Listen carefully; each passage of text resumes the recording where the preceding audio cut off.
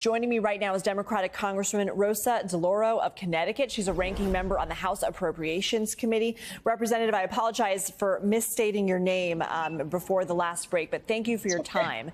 And yesterday, Punchbowl News co-founder Jake Sherman told me on our air there simply aren't the votes in Congress for a short-term extension of the debt ceiling. How do we get past this impasse? Well, let, us take it back a step. First of all, many, many thanks. I'm delighted to join you uh, uh, today.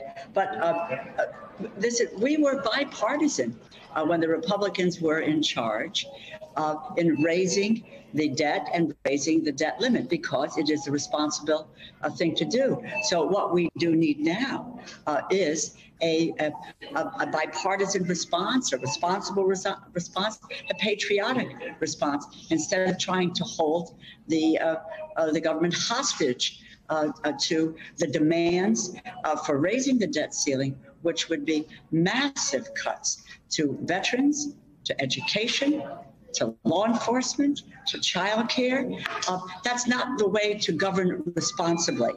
Uh, we have a way to do it. We should keep the debt ceiling uh, separate from the appropriations process, which is what we have done in the past. Congresswoman, just yesterday, President Biden sat down with my colleague Stephanie Ruhle, and one of the things they discussed was the debt limit. Let's listen. There are members of Congress that might be okay with us defaulting because they that. think it could hurt you more politically. No. Given that, are you prepared to invoke the 14th Amendment and blow through the debt ceiling? I've not gotten there yet. And here's the deal I think that, first of all, this is not your father's Republican Party. This is a different. No, sir. A, a different group. And I think that we have to make it clear to the American people that I am prepared to negotiate in detail with their budget. The 14th Amendment rule that Stephanie mentioned has a provision that may allow the Biden administration to continue to spend money to avoid a default, even if Congress fails to raise the limit by June 1st. Do you see that as a viable solution?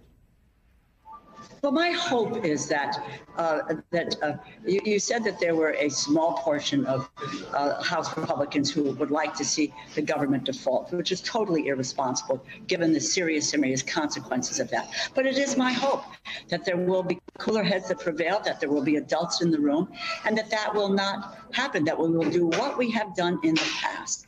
That we, in a bipartisan way, we raise the debt ceiling, and then we have a bipartisan discussion of the appropriations bills and funding the government. I have negotiated uh, those efforts in the past. I did it last December. I did it a year ago, March, with uh, my colleagues on the Senate side um, and uh, with uh, Senator Shelby, Senator Leahy, um, uh, and uh, and at that time, quite honestly, um, the current Speaker uh, McCarthy did not allow the House Republicans to enjoin the debate. Well, we passed government funded bill, a budget, because with regard to appropriations, you have to have House, Senate, Democrats, and Republicans voting in order for the president to sign the bill. That has been the process. We can have a very rigorous debate about what you need to spend or what you need to cut.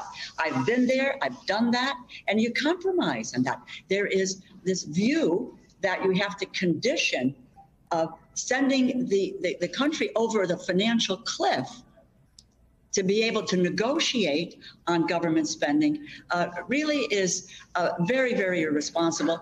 Uh, and the massive cuts, as I said, we would take um, hundreds of police uh, officers off the beat, that thereby defunding the, the, the, police.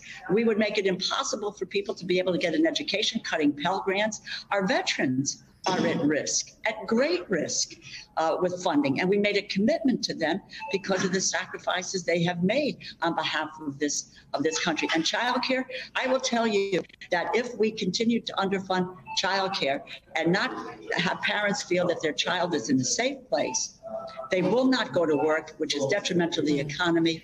It has to be bipartisan. My colleagues have to be responsible. They have to govern. They are in the majority. Representative Rosa DeLauro will have to leave it there, but thank you for your time.